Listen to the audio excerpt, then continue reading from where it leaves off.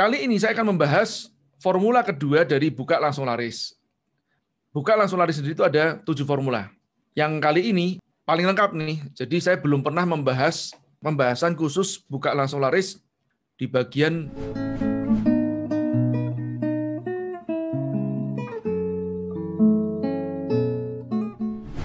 Hey, Bismillahirrahmanirrahim. Assalamualaikum warahmatullahi wabarakatuh. Terima kasih teman-teman, semuanya sehat selalu. Uh, saya akan sampaikan pemaparan saya kira-kira satu jam teman-teman. Nanti teman-teman silakan catat aja apa-apa yang akan ditanyakan. Setelah itu nanti kita uh, tanya jawab. Dan perlu diketahui bahwa buka langsung laris ini tidak didesain hanya untuk makanan ya, tapi untuk di luar makanan juga iya. Video saya buka langsung laris sebetulnya sudah banyak versinya tidak hanya dari saya sendiri, tapi juga dari alumni-alumni kita seperti Gazan Aska yang punya Zanana Chips, kemudian Mas atau Kang Reza, ya Reza Galih dari Seika Hijab. Nah itu yang sudah waktu itu Seika Hijab itu berbaginya di Korea bahkan. Beliau-beliau ini sudah mempraktekkan dari awal perjalanannya ya. Jadi tahun 2012 ya, eh 2015 kan, itu kan saya buat buku ini kan saya sempat roadshow kan, kemudian sempat berbagi. Memang hampir semua saya berbaginya lebih banyak ke gratisnya. Ya Alhamdulillah. Nah di situlah silakan nanti teman-teman untuk memperlengkap materi saya, teman-teman nyimak di video-video saya, dan mungkin yang sudah memiliki buku saya dibaca ulang. Ilmu yang sama dibaca di waktu yang berbeda menghasilkan pemahaman yang berbeda. Ini teman-teman perlu tahu. Kenapa begitu? Karena bisa jadi mungkin pada saat itu belum ngalamin masalah. Sekarang pas habis ngalamin masalah dibuka lagi, oh dapat pencerahan di situ. Atau mungkin juga saat itu belum ketemu dengan saya, jadi mungkin belum benar-benaran trends pada saat baca. Biasanya teman-teman yang sudah ketemu dengan saya, terus baca buku saya seolah-olah bilang begini, Mas, kok saya kalau baca bukunya Mas kok kayak diceritain atau diomongin di sampingnya Mas apa di samping saya ya begitu. Ya memang buku saya saya desain atau saya tuliskan dengan narasi auditori. Itu memang sengaja seperti itu. Baik, kali ini saya akan membahas formula kedua dari buka langsung laris. Buka langsung laris sendiri itu ada tujuh formula. Yang kali ini, ini paling lengkap nih. Jadi saya belum pernah membahas pembahasan khusus buka langsung laris di bagian produk ngangenin tok. Itu belum pernah. Saya mulai ya teman-teman ya. Nah, tapi saya di sini kan saya buat judulnya mengikuti dari perintah Pak Bintor, cara membuat produk yang ngangenin. Ya insya Allah eh, materinya tetap sama, menciptakan produk yang ngangenin. Oke, baik. Nah ini adalah tujuh formula buka langsung laris. Yang pertama yang disebut namanya membidik pasar potensial. Membidik pasar potensial itu yang dimaksud seperti apa nanti saya akan jelaskan sekilas. Karena kalau kita bicara masalah formula kedua, ya harus mulai dari formula pertama duluan. Tapi saya tidak akan membahas yang ketiga, keempat, kelima, keenam, ketujuh. Tidak saya bahas di kali ini. Saya akan sekilas membahas kenapa kok kita harus membuat yang pertama lebih dahulu. Tapi sebelumnya, saya akan menjelaskan dari tujuh formula ini, pada dasarnya ini adalah ilmu yang sains banget gitu ya. Bukan saya menyusunkan berdasarkan ramalan wangsit atau apa bukan. Kalau Anda perhatikan baik-baik, membidik pasar potensial, menciptakan produk yang ngangenin, membuat kemasan yang pertama diambil atau bentuk yang pertama diambil. yang keempat, merek yang ngetop. Yang kelima, saluran distribusi yang sama dengan saluran promosi. Yang keenam, penyebar virus. Yang ketujuh, lompatan konversi. Kalau kita ambil kata dasar dari tujuh formula ini, ini sebetulnya ada kata dasarnya. Riset pasar, riset produk, desain kemasan atau bentuk. Kemasan atau bentuk itu maksudnya bisa jadi produk Anda dijualnya telanjang, bisa jadi dijualnya ada kemasannya. Yang dimaksud telanjang itu contohnya ya, Anda jualan gorengan di pinggir jalan. Nah, itu telanjang. Nah, bisa juga di bentuknya, bisa juga di outletnya. Nah, Nastar misalkan, Nastar itu lebih cenderung biasanya menjualnya kelihatan bentuknya. Itu yang disebut namanya bentuk telanjang. Nah, ini nanti kita bagaimana cara memilih bentuk yang membuat orang akan ngambil pertama kali. Kemudian yang keempat, memilih merek yang ngetop atau yang pas. Nomor tiga, nomor empat biasanya dibuat bersamaan, alias setelah mereknya dapat, misalkan atau desain kemasan bentuknya dapat, kemudian mereknya ada, baru dibuatkan, didesainkan jadi. Oke, kemudian yang kelima distribusi atau saluran distribusi, yang keenam saluran promosi atau cara berpromosinya, yang ke Tujuh, baru berbicara masalah lompatan konversi atau mengoptimasikan semuanya supaya terjadi konversi. Nah, tujuh formula ini adalah hierarki yang harus diurutkan. Ya, jadi satu persatu itu harus diurutin karena ini kalau nggak diurutin dilompat-lompat nggak bisa. Misalkan teman-teman tidak riset pasar duluan langsung buat produk, bisa nggak? Bisa, tapi ada tapinya. Nanti produknya belum tentu akan diterima oleh pasar. Bisa jadi mungkin produknya membidik pasar yang masih tertidur. Tidak menjadi masalah kalau amunisinya kuat. Dalam artian misalkan Anda membuat suatu produk yang belum ada pasarnya, asal amunisinya kuat untuk mengedukasi pasar is oke okay, gitu kan. Contohnya ya, pada saat dibuat pertama kali namanya Aqua ya, air mineral di tahun 1972-an kira-kira. Nah, Pak Tirto Utomo waktu itu sebetulnya tidak berniat banget karena dia punya tamu yang sering datang dari luar negeri, tidak bisa minum air yang uh, bukan air filter begitu. Nah, beliau akhirnya uh, mendatangkan tuh peralatannya dari luar negeri dan di set upkan di Indonesia. Karena sudah terlanjur ya sudahlah dibuatin juga PT-nya. Pada saya belum PT sih ya. Kalau PT-nya setahu saya itu tahun 83-an tuh baru dibuat PT-nya Golden Mississippi. Aqua Golden Mississippi. Nah, di tahun 83 itu baru marak yang namanya air uh, kemasan. Dulu pun tahun 83 masih belum benar benar ada saingan, tapi permintaannya sudah lumayan terbaca. Jadi kalau Anda bayangkan ya 72 ke 83 itu butuh waktu 11 tahun untuk mengedukasi pasar. Lah apakah kita kuat UKM ini? Nah, jadi desain buka langsung laris ini saya desain bukunya buat UKM yang dari modal dengkul. Makanya materinya saya desain khusus memang untuk UKM yang modalnya cekak. Nah, inilah untuk mengoptimasikan. Oke, saya lanjutkan. Nah, membidik pasar potensial, ini mau nggak mau harus dibahas. Pasar itu ada tiga macam. Yang pertama pasar yang berdarah, yang kedua pasar yang potensial, yang ketiga pasar yang tertidur. Boleh dibolak-balik. Yang pertama yang mana juga boleh. Yang penting kita memahami. Yang disebut pasarnya tadi tertidur itu seperti apa sih? Seperti pada saat Pak Tirto Utomo membangun Aqua. Nah, yang disebut pasar berdarah itu seperti apa? Pasar yang banting-bantingan harga seperti sekarang ini. Misalkan kalau kita jualan jilbab itu sudah banting-bantingan harga. Nah, tapi masih ada celah diferensiasi, tetap masih ada. Makanan juga sebenarnya pada dasarnya seperti itu. Bilang yang murah juga ada, ya, yang mahal ada, tetap masih ada yang potensialnya. Nah, kalau yang bleeding banget itu misalkan yang jelas banting-bantingan harga sekarang masker misalkan. Nah, itu banting-bantingan harga. Bagaimanapun tetap selalu ada celah diferensiasi. Cuman memang tidak mudah. Effortnya pasti berat. Kenapa? Karena sudah terjadi eh, perang harga. Nah, pasar potensial itu sendiri apa sih yang dimaksud pasar potensial? Gampangannya, pasar potensial itu yang permintaannya besar tapi kompetisinya kecil. Kompetisi yang dimaksud itu bukan berarti tidak banyak yang jual, mungkin sudah banyak yang jual. Permintaannya juga besar, tapi yang jualan itu bisa jadi mungkin brandnya belum kuat atau belum ada brand yang kuat. Saya mengkategorikan pasar potensial atau memberikan guidance buat teman-teman supaya mudah untuk belajarnya, itu saya kasih 12 kategori atau ide-ide pasar potensial yang bisa dibuka oleh teman-teman seperti apa.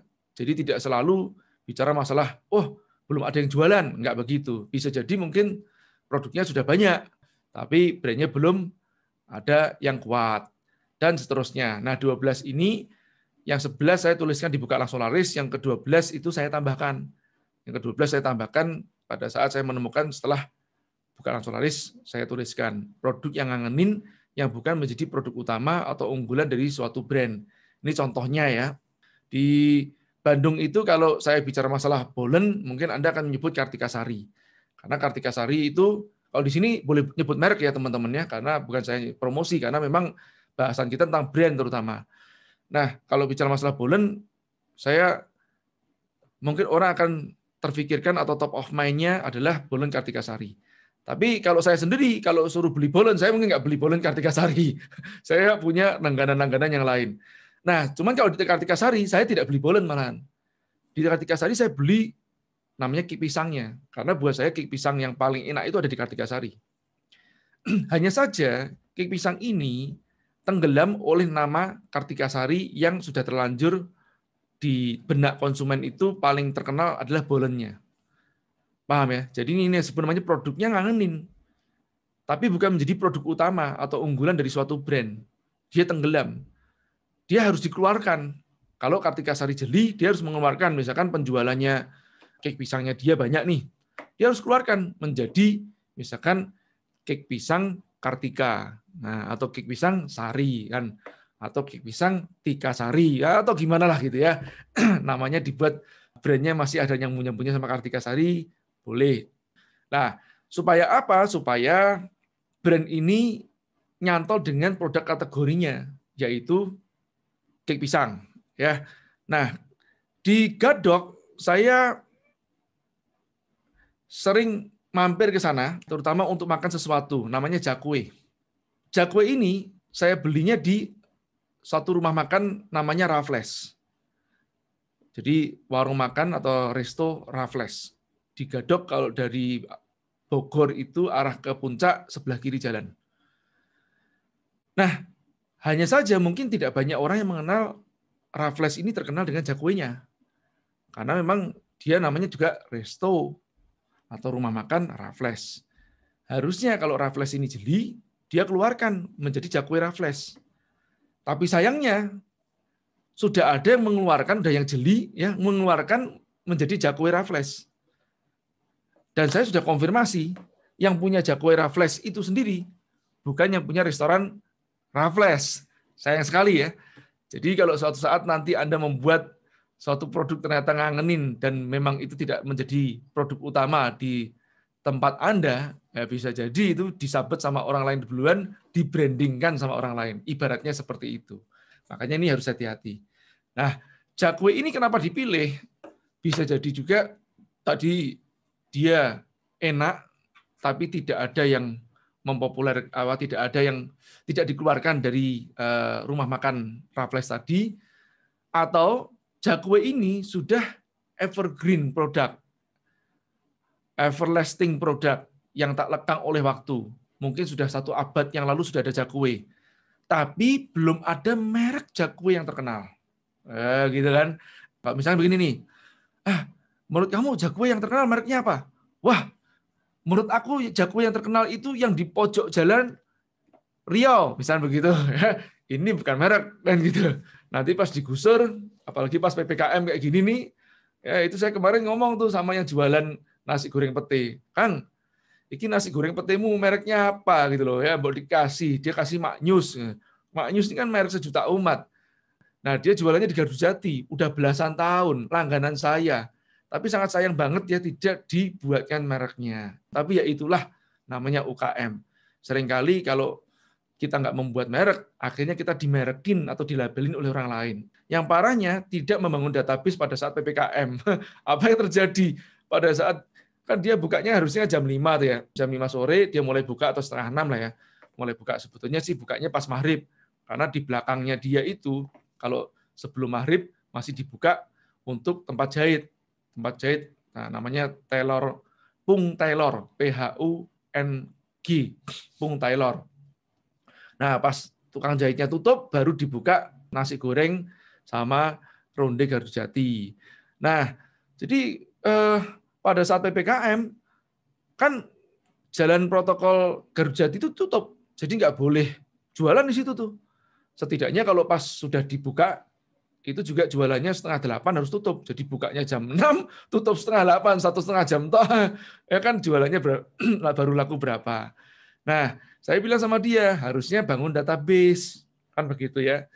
bangun database, kemudian jualannya pindah pun juga, nomor WA, kontaknya semuanya bisa di uh, blast bos.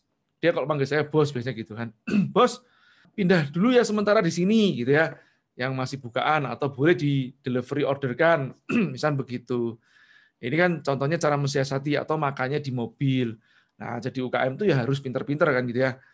Nah, kalau nggak begitu nanti mati amunisinya nggak kuat. Oke ya. Nah, jadi Jakwe Raffles ini adalah salah satu contoh produk yang masuk kategori pasar potensial. Nah, ini ada contoh lagi nih. Teman-teman tahu ini nggak? Namanya odeng. Kalau di Korea ini, wow, sangat ternama kan ada di jalan-jalan lah begitu. Odeng ini, Anda percaya nggak percaya?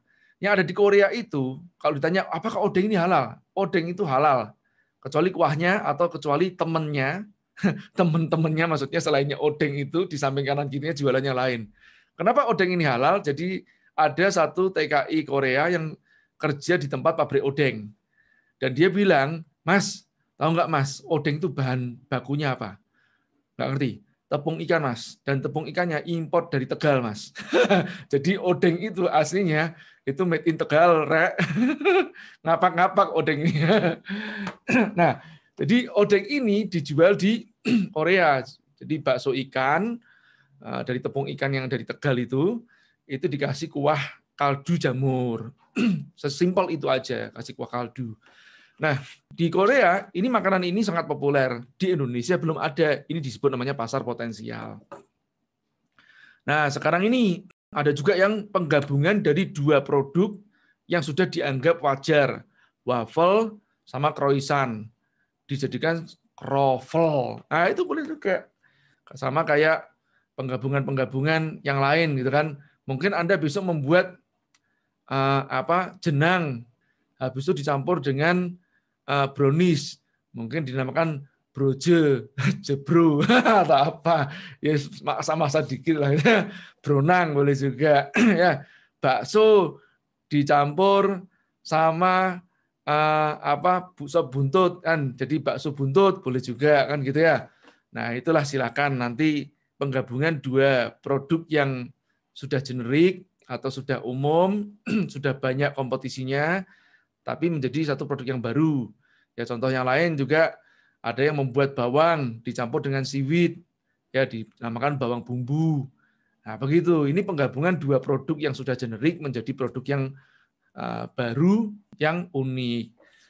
Tapi bagaimanapun pas uh, saya melihat fenomena-fenomena maaf ya kalau saya sering mengatakan agak latah. Ini sering kali diloncengkan tanpa menguji produknya supaya ngangenin lebih dahulu kita sebagai calon pembeli biasanya pas ada yang baru, wah ada yang baru nih, apa tuh lagi hype, kroffel, wah ngantri. Saya pas ada di Kota Baru Parayangan nih, pembukaan kroffel, sudah saya langsung datang ke situ. Loh ada nih, begitu di Instagram kena iklannya, nah, saya datang ke situlah. Saya cari, eh yang kurang ajar tuh apa? Suruh nunggu loh sampai besok ya ampun kroffel aja mau beli kayak gini gue harus inden gitu loh. Ya sudahlah karena saking penasarannya inden. Nah begitu saya inden terus saya besoknya makan ya cuma gini doang. Apalagi kalau segitu sudah adem anda tahu sendiri kan risiko croissant itu kalau eh, nggak benar-benar uh, adonannya ber, ber, apa, uh, berkualitas dia langsung jadi alot kan. Nah jadi kejadian seperti itu. Ini waffle kok alot gini. Eh, karena mungkin berserat atau bagaimana. Nah, ini tidak diuji lebih dahulu. Kalau saya sendiri karena pecinta kuliner, ya saya memahami hal, -hal seperti gini. Ya kayak waffle, saya memilih waffle itu sebetulnya masih banyak yang bisa dikembangkan karena saya belum menemukan waffle yang enak di Indonesia. Ya, terakhir makan waffle yang enak itu ada di Harbor Bay di uh, Harbourfront ya, Harbourfront di Eh, mana Singapura ya, Harbor Bay di Singapura. Jadi di terminal ferinya di sana. Karena dulu saya tinggal di Batam, saya sering ke Singapura. Tapi terakhir sudah tutup. Nah, itu adalah waffle yang paling enak yang pernah saya makan. Setelah itu saya belum pernah ketemu yang enak lagi. Artinya masih potensial sebetulnya waffle-nya aja, nggak usah dibuat kroffel-nya. Dan kalau saya sebut nama waffle yang terkenal apa, mungkin Anda juga belum tentu bisa menyebut. Atau mungkin memang belum ada yang terkenal. Oke, saya lanjutkan. Nah, jika riset pasar atau yang pertama tadi dilewati, itu apa yang terjadi? Nanti pasarnya nggak jelas. Kita nyerbu ke suatu wilayah itu tanpa punya peta. Bisa jadi benar, bisa jadi salah. Jadi penuh dengan namanya uji coba atau trial and error. Sebisa mungkin sekarang itu zamannya zaman data semuanya. Setidaknya data itu yang paling gampang kan secara kualitatif juga bisa kita lakukan dengan scroll-scroll, searching-searching. Nah, dari situ kita bisa mengamati ya. Mengamati apakah ini ada pasarnya atau tidak ada pasarnya, kan begitu. Oke, saya lanjutkan. Nah, ini formula yang kedua, menciptakan produk yang ngangenin. Saya akan fokus ke sini. Yang paling penting Anda tahu bahwa nomor dua ini atas dasar nomor satu lebih dahulu. Tapi ada kalanya teman-teman sudah uh, lebih dahulu mungkin punya produk. Nah, kalau teman-teman sudah terlebih dahulu, Mas, aku punya ide suatu produk, Mas. Bagaimana, Mas? Apakah aku harus mulai dari pasarnya duluan? Nah, kalau Anda sudah punya ide produk, Anda setidaknya memvalidasi apakah pasarnya itu potensial, apakah pasarnya tertidur, atau pasarnya sleeping, uh, pasarnya berdarah atau bleeding. Nanti kalau di revolusi bisnis model, tiga pasar itu bisa digunakan semuanya. Nah, tapi sekarang saya mengatakan tentang buka langsung laris. Alias untuk pengusaha pemula, ya baiknya ngikutin kaidah yang ini. Oke, nah kesalahan saat ujian ini itu apa aja? Ini yang paling banyak terjadi ya, dan ini tidak ada dalam buku saya secara detail nih. Saya buatkan uh, untuk teman-teman di hari ini. Nah ini yang pertama gini nih, endorse terlalu dini. Jadi belum apa-apa baru uji ngangenin sudah di endorse. Padahal produknya belum tentu ngangenin. Ini kejadian. Banyaklah Contoh ya paling simpel aja tuh oleh-oleh artis lah atau cake artis itu. Cake artis fenomena cake artis itu kan kalau Anda icipin lah ya, kebanyakan cake artis kan nggak karuan kan rasanya, alias biasa banget itu loh. Sudah di endorse atau dikasih traffic yang sangat besar, jutaan orang ngefollow, habis itu dikasih traffic, tiba-tiba besok di outlet pada ngantri semuanya jam 8 ngantri sampai jam 10 baru dibuka dua jam. Demi apa? Demi penasaran kepengen beli. Nah, setelah dia ngantri, terus dia beli. Oke lah, generasi sekarang itu sebenarnya generasi viral atau generasi YZ ini ya, itu generasi viral. Nah, sebut maksud sebut generasi viral itu gini loh, generasi viral itu belum tentu generasi loyal. Dia mungkin ngefoto, ngupload, eh gue ada beli nih guys kan gitu ya. dia dia cuman foto ngupload, dimakan belum tentu atau belum tentu dihabisin dan belum tentu repeat order. Itu generasi sekarang seperti itu. Makanya saya sering menyebut generasi 25 ke bawah terutama itu generasi viral, 25 ke atas generasi loyal. Nah, Anda bisa memanfaatkan dua-duanya pada dasarnya.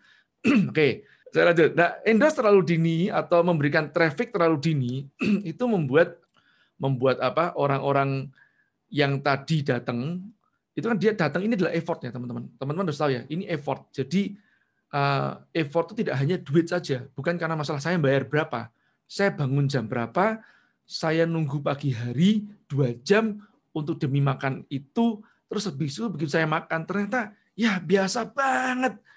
Oke lah di foto selesai. Tapi apakah saya akan repeat order? Tidak. Nah, kalau besok tanya sama orang gimana? Enak nggak? Enak sih kagak. Hype iya, gitu. Nah, apakah Anda produknya mau dibuat seperti gini? Ini yang paling celakanya itu apa? Yang disebut namanya omset semu. Pada saat Anda mengenjot dengan traffic, Anda kira sales itu itu membuat apa berarti produk Anda ngangenin. Jadi omset atau sales yang dihasilkan oleh traffic, Anda ngendorse ke mana-mana, itu Anda pikir, oh ini produk ngangenin nih, permintaannya besar. Enggak. Konversinya besar, yes mereka menjadi buyer, tapi belum tentu mereka menjadi customer. Alias belum tentu mereka menjadi orang yang repeat order produk Anda berikutnya. Nah, pada saat trafficnya itu besar, terjadi apa? Kapasitas produksi kurang. Anda naikkan kapasitas produksi.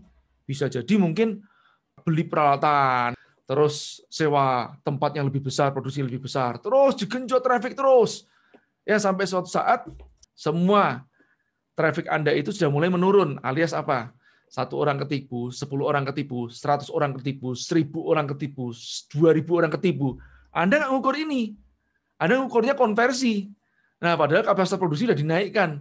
Ya, terus tiba-tiba dari begini langsung turun begini. Anda bingung, salahku di mana? Lah salah Anda di sini.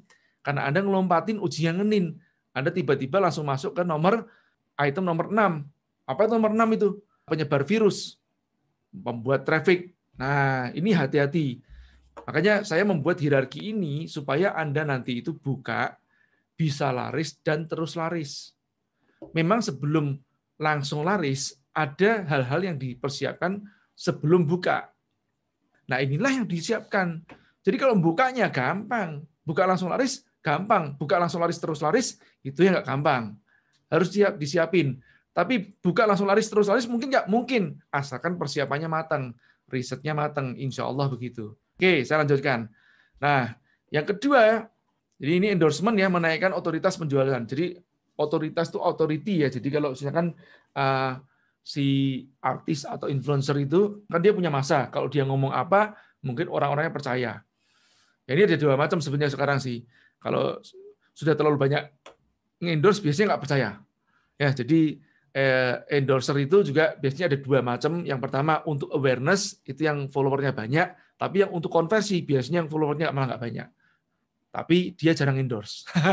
Jadi kalau begitu orang sudah selalu sering endorse, itu kan saya lihat ya ada yang endorse endorse atau influencer itu di story-nya dia itu sampai rapat banget. ini ini, ini ini, ini begini, ini begitu. Waduh, ini orang ini bisa dipercaya nggak nih mulutnya? Tapi bagaimanapun itu untuk awareness masih oke. Okay. Tapi kalau untuk konversi mungkin tidak. konversi Anda mungkin cari micro influencer. Endorsement yang uh, endorsement bisa menaikkan otoritas penjualan, tapi berbahaya jika produknya belum teruji yang ini. Apa bahayanya? bahaya bisa langsung merusak brand Anda.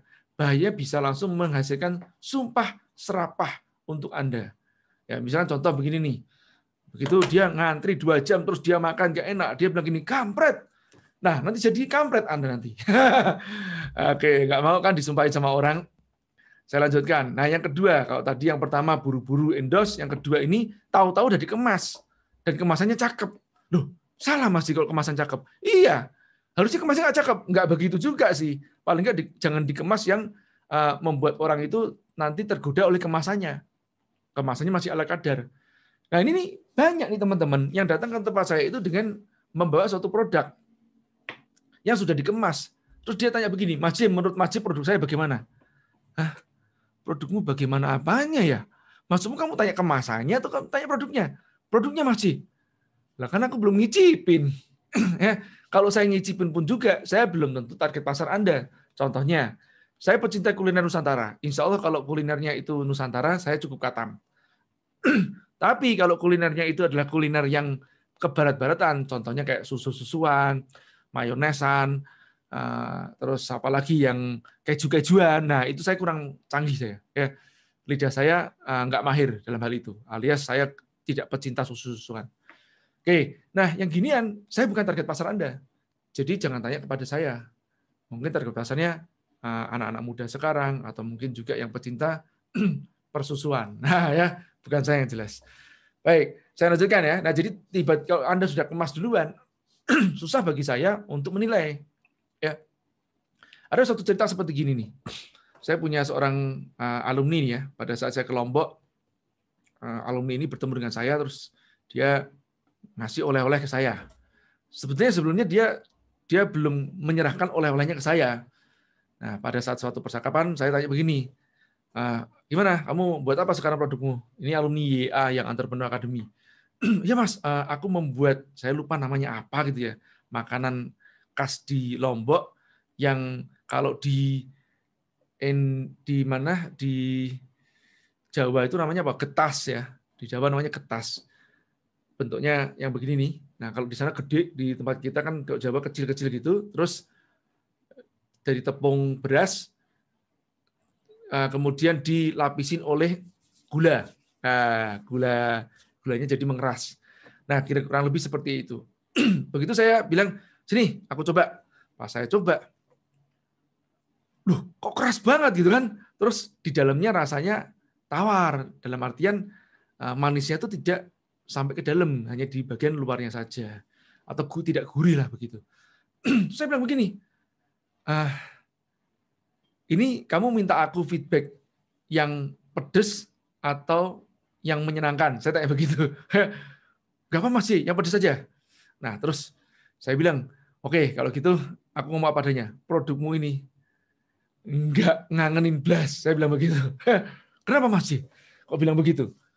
Ini keras agaan, terus kurang gurih dan luarnya terlalu manis. Jadi nggak pas proporsionalnya itu loh. Nah, terus saya bilang gini, tapi masih ini laris loh masih penjualannya.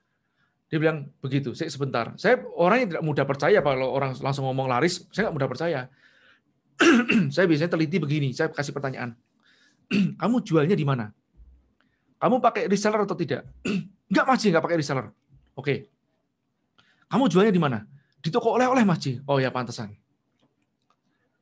Saya kenapa bilang pantesan? Saya ngelihat kemasannya dia itu bagus. Dia jago desain.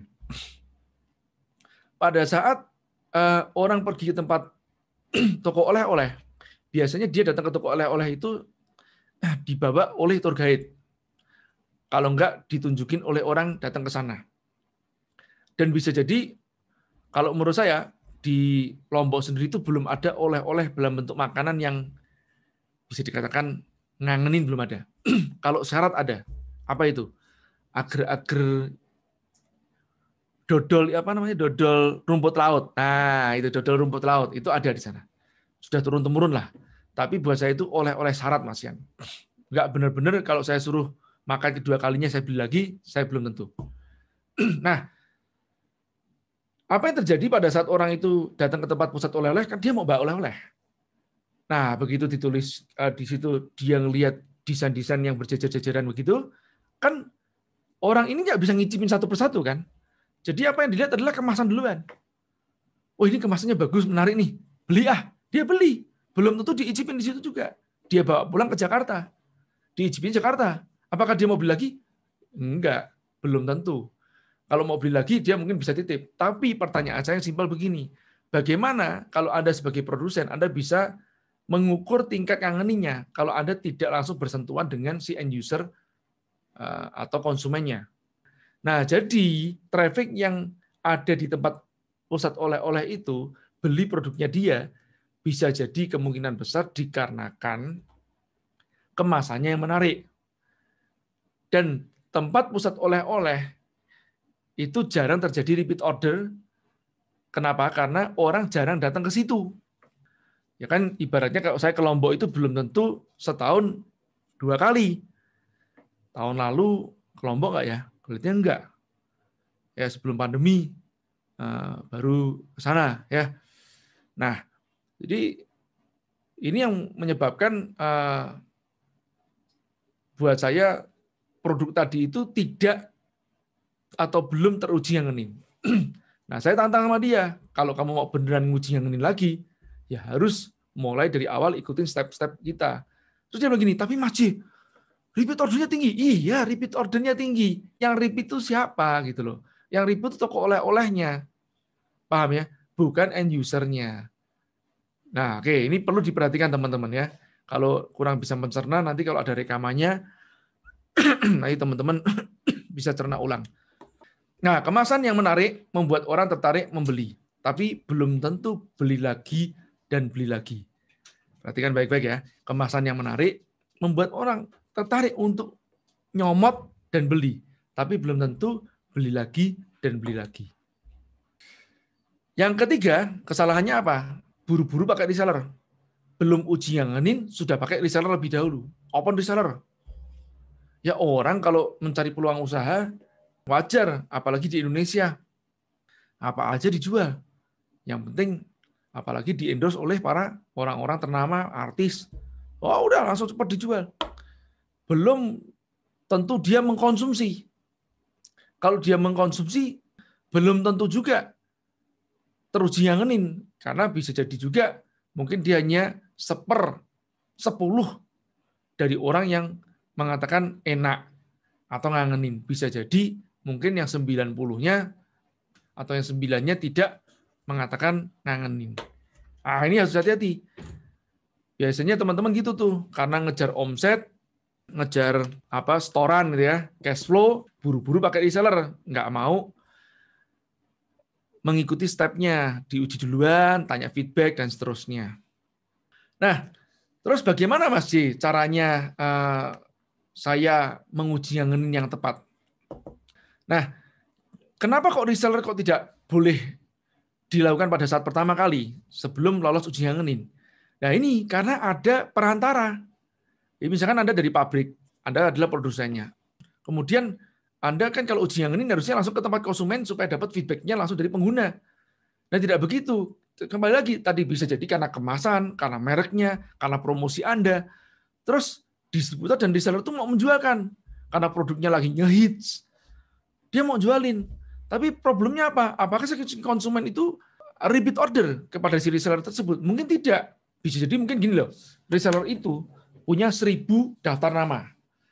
Bulan ini dia nawarkan ke 200. Berarti sisa 800 nih. Katakanlah 1000-nya itu beli semuanya lah gitu loh ya. Nah, 200 orang di bulan itu beli. Dan Anda punya 5 reseller. Wah, Anda udah senang nih. 1000 produk terjual. Terus bulan depannya, Anda rekrut reseller lagi. Mungkin nambah resellernya dua, nambah resellernya berapa. Waduh, naik nih. Ya kembali lagi tadi tuh, naik nih penjualannya. Kenapa? Reseller yang pertama atau 10 reseller pertama menjual ke 200 orang yang kedua. Sampai naik terus, naik terus, kapasitas produksi Anda naikkan, buka pabrik lagi, beli mesin, di bulan ke-7, bulan ke-10 mulai turun. Anda bingung, kenapa? Daftar nama si reseller itu sudah tidak ada lagi. Dan reseller itu sudah bertumbangan. Kenapa? Tidak ada repeat order. Nah inilah yang terjadi yang paling bahaya kalau kita tidak melakukan uji yang ini lebih dahulu. Oke, nah omset yang besar itu nggak mencerminkan kestabilan dari suatu bisnis. Ya, ini belum tentu. Bisa jadi mungkin yang omsetnya kecil, tapi dia repeat ordernya tinggi, nah ini bisa jadi stabil, slow but sure. Terus bagaimana sih caranya uji yang ini yang benar, Mas J? Caranya begini nih, gunakan kemasan yang sederhana. Jangan sampai orang itu terkecoh oleh kemasan lebih dahulu. Jadi harus bisa membedakan antara konten sama konteks. Kalau buat makanan, konteks itu utama. Eh, konten itu utama buat makanan. Nggak bisa kalau Anda misalkan gini, konteks yang tidak utama itu apa? Kafe lah gitu ya. Makanannya biasa banget. Nah, itu karena atmosfernya yang oke. Dia dia beli, dia beli. Foto-foto dia foto-foto. Tapi balik ke situ lagi belum tentu. Karena kontennya nggak kangenin. Nah, kalau makanan ya sudah mau nggak mau harus konten setidaknya itu acceptable quality kualitasnya oke okay lah kalau istilahnya ratingnya 10 ini 6 lah karena memang tidak banyak orang juga yang punya kemampuan untuk menilai suatu makanan dari level 0 sampai level 10 ini bisa teliti detail gitu. Misalkan oh ini tujuh setengah. Mungkin rata-rata kebanyakan kalau apalagi nih ya eh, anak-anak kos nih ya. enak sama enak banget. Wah, saya diprotes anak kos nanti itu. Apa anak kos lagi PPKM sekarang nih. Ya, ya maksudnya kalau yang uh, budgetnya pas-pasan gitu kan ya udahlah kalau ada syukuran pokoknya dimakan aja ini yang paling bahaya makanya ujian ini itu jangan kepada mereka yang yang kepepet itu apa aja dimakan nantinya ya. Nah, gunakan kemasannya sederhana supaya orang itu tidak terkecoh oleh kemasannya. Yang kedua, coba di kelompok-kelompok atau komunitas-komunitas yang sesuai dengan target pasar Anda. Setidaknya yang disebut sesuai dengan target pasar itu apa? Mampu membeli produk itu. Anda boleh gratisin. Boleh uji yang ini gratisin, boleh. Pada saat ada event, gratisin, boleh. Tapi, ada tapinya, komunitas itu mampu beli kalau seandainya berbayar. Nah, itu yang penting sesuai dengan target pasarnya atau demografisnya sesuai. Nah, kemudian kalau produknya itu besar, misalkan brownies nih, ya jadi jangan browniesnya itu satu kotak gede begitu, enggak. Dipotong-potong, dikecil-kecilin. Nah, biar dia mencoba. Kalau parfum gitu juga, ada testerannya. ada tester yang kecil-kecil atau disemprotkan, ada kertas yang untuk dites. Nah, ini eh, kalau tadi kembali lagi makanan tadi itu atau minuman, minuman juga gitu gelasnya dikecilin. Supaya apa? Kita bisa mengukur angka repeat ordernya. Misalnya begini nih, kasih kemasannya kecil nih, ya. Terus kemudian dia eh, refill kalau minuman. kalau makanan kasih tusuk gigi, dia makan, wih, mau nih lagi, dia ngambil lagi. Nah, kalau dia ngambil lagi, ngambil lagi, jangan langsung percaya, bisa jadi dia lapar. ya tentu aja jangan satu orang yang ngambil begitu. Kalau satu orang saja tidak valid. Nah, kebanyakan orang ngambil itu juga belum tentu valid kalau target pasarnya salah. target pasarnya anak kos di hari tua, tanggal tua semuanya. Oke, nah begitu nanti kok masih kok ngomongin anak kos terus? Ya, saya soalnya pernah ngekos, saya jadi tahu gitu. kalau ada hajatan paling seneng. Kita datang gitu kan. nah, jadi kan kalau yang benar itu bagaimana? Yang benar yaitu uh, di target pasar yang uh, dia mampu beli ya, terus kemudian dikecil-kecilin, pas repeat-repeat dan mayoritas repeat itu baru disebut uji ngangenin lolos. Nah, bisa dicoba ke tempat kelompok-kelompok yang lain. Langsung ke konsumen tadi bukan ke resellernya. Mas, kalau bukan reseller langsung ke distributor gimana Mas? Ya podo itu. Sama aja. Terus amati repeat atau referral. Intinya kalau produk yang dikonsumsi terus-menerus itu repeat. Tapi kalau dia tidak dikonsumsi terus-menerus, misalnya kayak pakaian, kan nggak setiap bulan beli lagi, wah saya suka nih beli lagi. Belum tentu begitu kan. Nah dia refer. Kalau nggak dia posting. Nah gitu aja. Nah supaya kita tahu bagaimana Mas Ci, follow akunnya. Makanya pada saat uji ngenin, tiga bulan pertama buka itu ya follow-in tuh yang beli produk Anda, kakak. Biasanya kan begini nih, follow kita ya, nanti saya berikan diskon 20%. Nggak usah gitu. Kita dibalik gitu loh. Kakak, follow kita ya, nanti kita kasih diskon 20%. Loh, nggak kebalik. Nggak kok. Loh, sebentar. Saya di follow, terus habis itu dikasih diskon 20%. Iya. Kenapa begitu? Nah, supaya kita bisa memonitor ya, tingkat ngangeninnya sama si orang itu kan gitu loh. Pas jadi pas dia beli, nanti kita follow. Kalau kita dia mau ngasih akun sosial medianya, ya kita kasih diskon 20% pas dia beli. Lucu kan? Nah, nggak lucu gitu loh. Sebetulnya yang lucu tuh teman-teman yang mintanya di follow-follow terus gitu kan. Tapi biasanya kalau kita sudah follow, biasanya mereka juga nanti kalau suka dengan produk kita dia akan follow.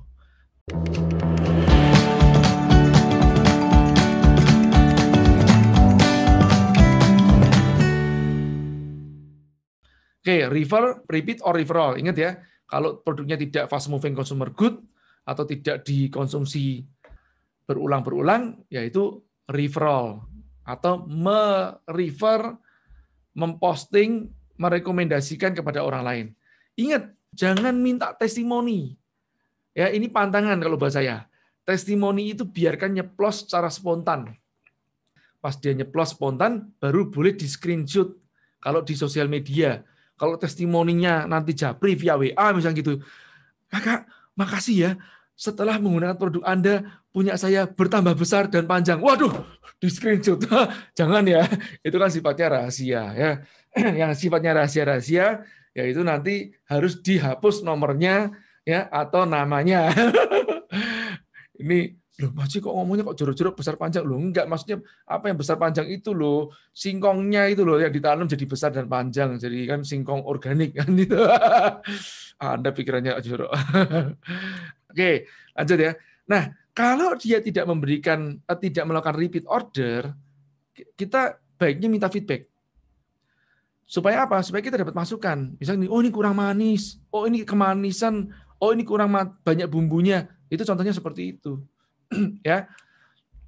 Kemudian kalau terbaik adalah menggunakan data. Nah, ini ini kalau luar biasanya kalau yang sudah main digital ya, itu Anda bisa mendapatkan datanya ya kan Eh, data itu bisa macam-macam. Contoh begini, setelah beli konversi kan dapat nomor HP-nya, validasi datanya, validasi sosial medianya. Nah kalau bisa di follow sosial medianya, atau uh, minta izin tanya sosial medianya apa, atau kalau dia nggak repeat dalam waktu misalkan kalau skincare ya misalkan tiga bulan harusnya dia repeat ternyata dia nggak repeat boleh tanya kakak uh, boleh tanya, ini kami dari gini ini. Nah, terus kemarin kan beli produk kita yang ini nih. Nah biasanya tiga bulan sudah habis. Apakah produknya sudah habis? Kalau semuanya pada ngomong atau mayoritas ngomong belum habis, belum habis, belum habis, ya nggak kepake bisa jadi begitu. Nah kalau seandainya produknya itu ternyata kemasannya kegedean, dikecilkan supaya terukur angka repeat ordernya. Ini penting juga. Kadang-kadang itu kan teman-teman ya itu membuat kemasan langsung gede. Kalau saya selalu bilang gini, kemasan kecil untuk trial, kemasan besar untuk loyal. Nah, jadi pada saat trial pertama kali kasih yang kecil. Supaya apa? Konversinya gede dan ngukur angka repeat ordernya bisa. Jadi contoh gini ya, Anda membuat uh, skincare untuk biar wajah kinclong.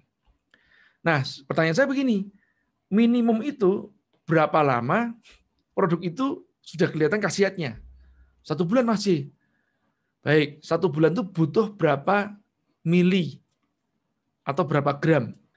20 gram masih. Sekarang kemasanmu berapa gram? 60 gram. Ya jangan kecilkan jadi 20 gram. Supaya bisa uh, diukur angka repeat ordernya. Nah, dan minta database atau dalam arti minta nomor HP-nya, nanti ditanyakan satu bulan kemudian. Nah, itu caranya seperti itu ya teman-teman ya. Oke, jelas ya mudah-mudahan ya. Nah, ingat ya, kalau produknya bukan yang dikonsumsi keseharian, atau tidak seperti kayak makanan, skincare, misalnya seperti kayak pakaian, bagaimana? Ya tadi itu yang saya katakan, bisa repeat, bisa refer, bisa post, bisa testimoni. Ini untuk mengukur angka repeat ordernya. Makanya kalau Anda ngefollow akun sosial medianya dia, Anda bisa mantau. Banyak manfaatnya kalau Anda mau ngefollow dibandingkan cuma sekadar Anda di follow doang. Oke. Nah, saya cerita dikit nih ya. Banyak produk-produk yang tidak melakukan kaidah-kaidah promosi berlebihan seperti anak-anak zaman now yang ngendos lah macam-macam kah. Tapi produknya evergreen. Ya ini contohnya nasi ayam di Semarang. Langganan saya namanya Bu Wido, Jalan Melati di Semarang dekat Jalan Gajah Mada. Wah, kalau saya datang ke Semarang kayak sebagai suatu ritual itu. Ini sudah brandnya masuk brand ritual. Seolah kayak kalau nggak datang ke sana, nggak makan di sana, nggak sah. Sampai saya itu suatu saat, waduh bingung gitu kan. Kalau nginepnya cuma eh, dua malam tuh kadang-kadang habisnya bingung. Karena malam hari, ini kan bukannya cuma malam hari. Malam hari saya harus ngabisin, setidaknya ritual saya ada dua nih. Pak Memet, nasi gandul Pak Memet di Jalan Dr. Cipto, sama uh, ini nih, nasi ayam Bu Wido. Tapi ada satu lagi nih, saya juga kepingin mie Dulnumani. Aduh, mau yang mana nih? Ya, sudah, akhirnya uh, satu malam saya biasanya bisa makan dua. Kayak nasi ayam ini kan porsinya nggak gede-gede banget. Nasi gandul juga nggak gede-gede, nggak gede-gede banget, nggak banyak-banyak banget. Nah, saya bisa makan sorenya saya makan di Pak Mehmet, malamnya saya makan di Bu Wido. Nah, bisa seperti itu. Dan produk ini evergreen, everlasting, tanpa ngiklan dan macam-macam. Kenapa? Karena memang produknya fundamental ngangenin. Itu yang fundamental. Banyak dari produk-produk yang tidak fundamental ngangenin digenjot iklan terus ada yang jualan lumpia kah ya, digenjot iklan terus. Kalah sama yang tidak digenjot iklan. Ini lumpia Gang Lombok sudah satu abad berdirinya. Tapi saya saya sendiri memang tidak makan di Gang, di Gang Lombok. Saya belum tahu sih. Uh, tapi katanya ini juga halal. Cuma memang di Gang Lombok itu kompleksnya uh, ah, B2 semuanya kan di sana. Kebanyakan B2. Makanya saya agak sedikit ragu di situ. Akhirnya beli di saudaranya dia. Ya ada ini kan generasi keempat ya yang jualan. Anda bisa bayangin ya generasi keempat yang jualan. Nah, yang aslinya mau dari Gang Lombok ini, sekarang yang sama-sama generasi keempat itu Mbak Lin. Mbak Linnya sendiri itu juga sudah meninggal kan tahun lalu meninggalnya. Jadi Mbak Lin itu sendiri ada di tempat gang yang kecil juga di daerah Jalan Pemuda. Nah, itu juga jualannya sudah puluhan tahun juga. Nah, yang seperti ini, ini evergreen nih. Anda mau milih yang seperti ini, yang Anda bisa jualan turun-temurun di mungkin diwariskan ke anak cucu Anda, atau yang Anda cuma jualan 10 tahun nggak sampai tutup, ya atau jualan bahkan dua tahun nggak sampai tutup.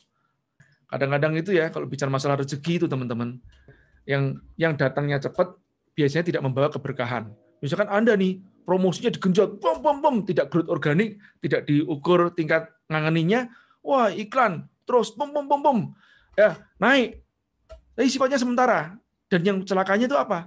Begitu naiknya cepat, keberkahannya biasanya kurang. Apa itu? Contohnya, wah dapat uang banyak dalam waktu singkat, beli mobil mewah, jalan-jalan ke luar negeri, pakai pakaian-pakaian fashion yang bermerek, jam tangan ratusan juta.